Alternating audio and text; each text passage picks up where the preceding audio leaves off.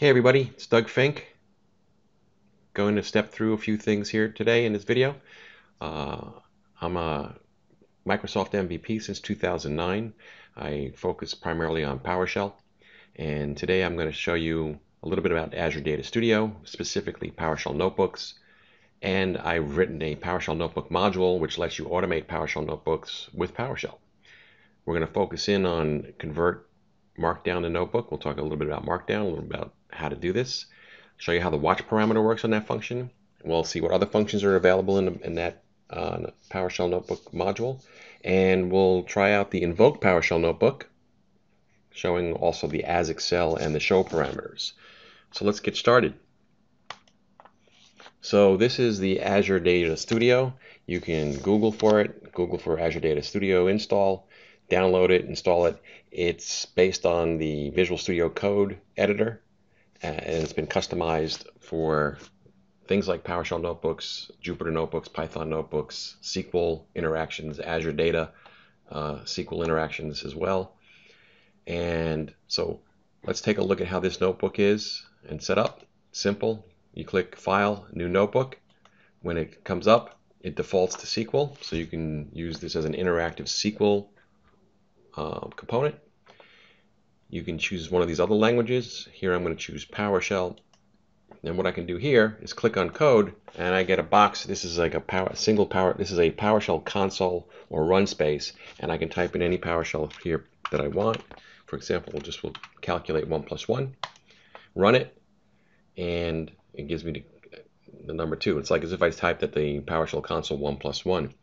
I can add another code window and I can do a range, for example, 1.5, and instead of clicking on the button, I can also press F5 to execute this. So I can pretty much choose any PowerShell command that I'd like. So if I want to add another code window, I can type in something like PS, you know, and select, and notice you, I'm getting some completion. I can say select the first um, 10, F5, and you can see the first five processes running on my machine.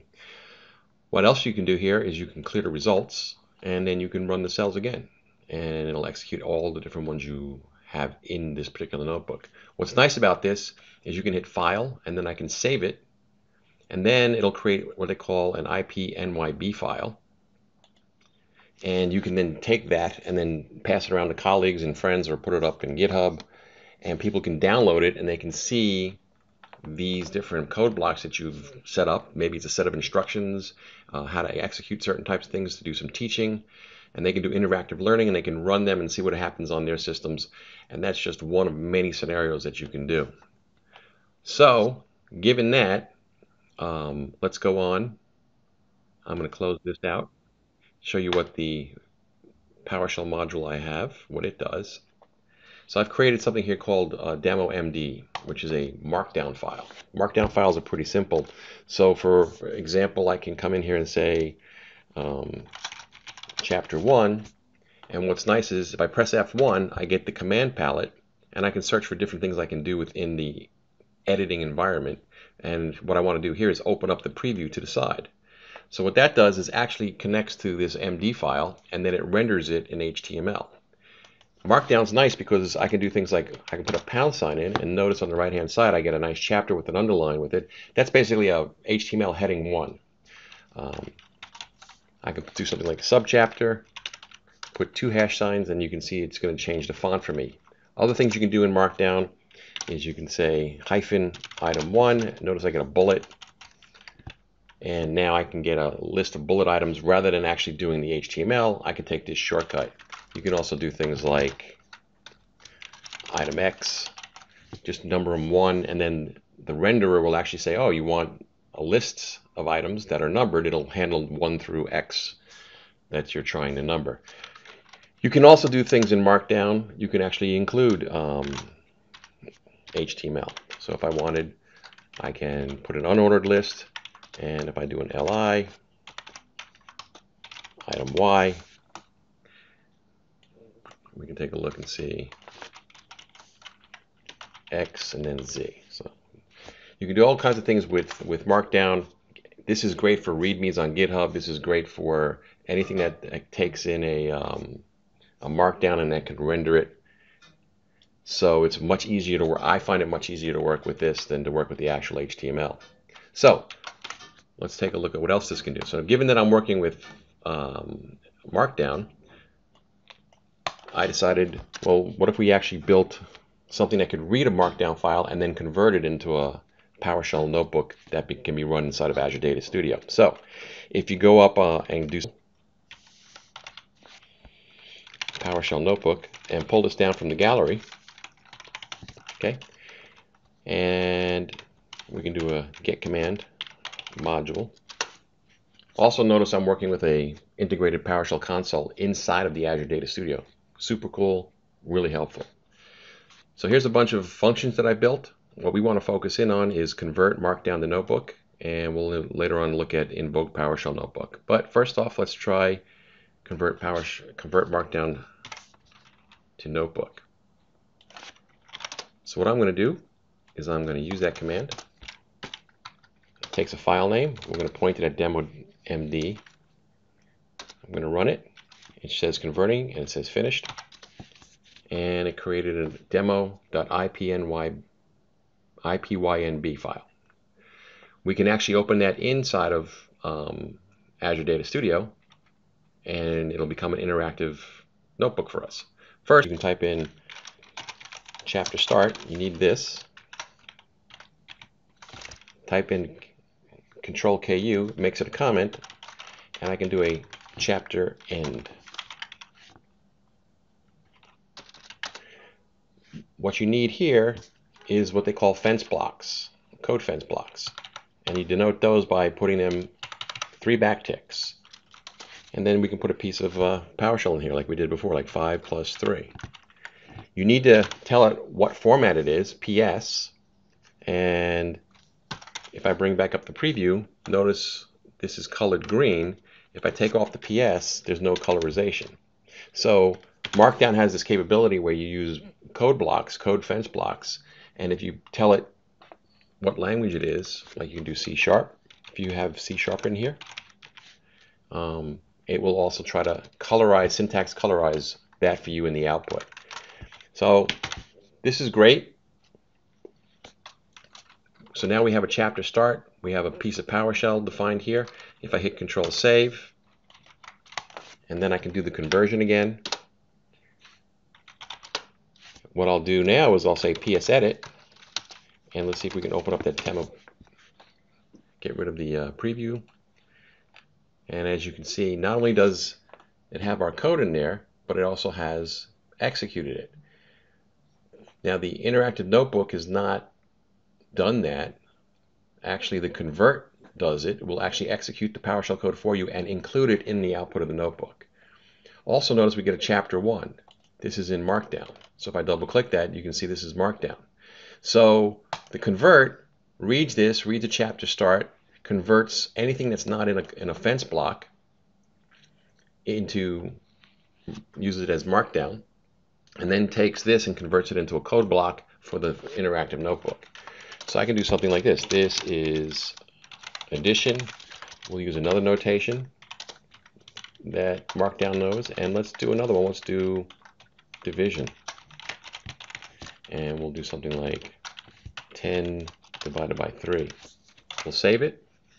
Now, every time I come down here, I can use the convert, but that gets tedious. So there's a watch um, switch on it. It'll sit, it'll wait for any changes to this file. And when it finds a change, it will actually then compile it. Come back here, we'll close this and reopen it. And then you can see here's our division and here's our addition. Notice the highlighting of the word addition and division. Let's close this out. We'll add one more piece. Let's do a modulo.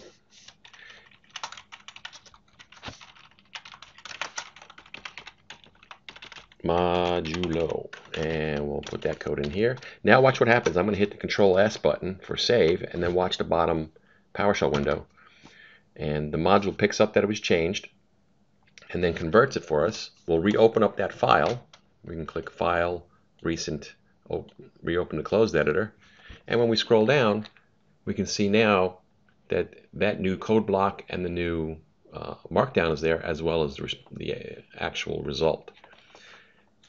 This is, I find, super helpful in, on a few ways. It helps you repurpose Markdown. So typically when I have a GitHub project, I like to keep all my documentation in Markdown, which can then get rendered on my repo, on my GitHub repo.